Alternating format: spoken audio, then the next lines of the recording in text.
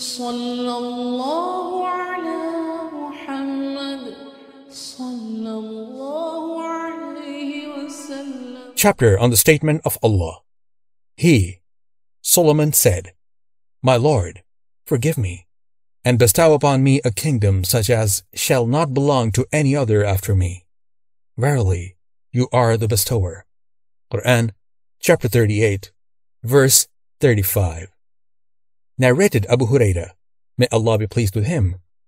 The Prophet, peace be upon him, said, Last night a demon from the jinn came to me, or the Prophet, peace be upon him, said a similar sentence, to disturb my salah, prayer.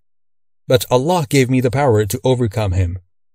I intended to tie him to one of the pillars of the mosque till the morning, so that all of you could see him.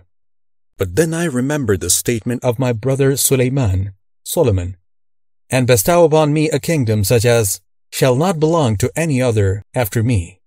Quran, chapter 38, verse 35.